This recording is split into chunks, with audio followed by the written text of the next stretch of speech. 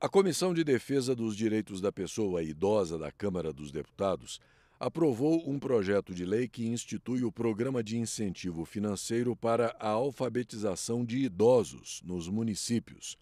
O projeto tramita em caráter conclusivo e ainda será analisado pelas comissões de Educação, de Finanças e Tributação e de Constituição, Justiça e Cidadania.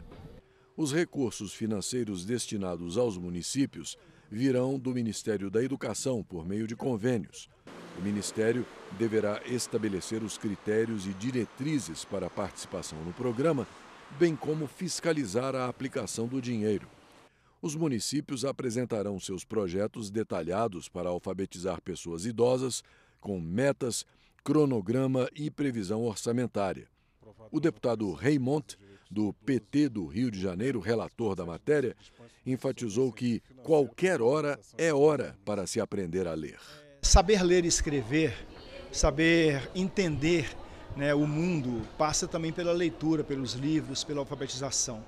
E não há, não há um tempo que diga assim, agora não tem mais jeito. Né? Sempre há possibilidade.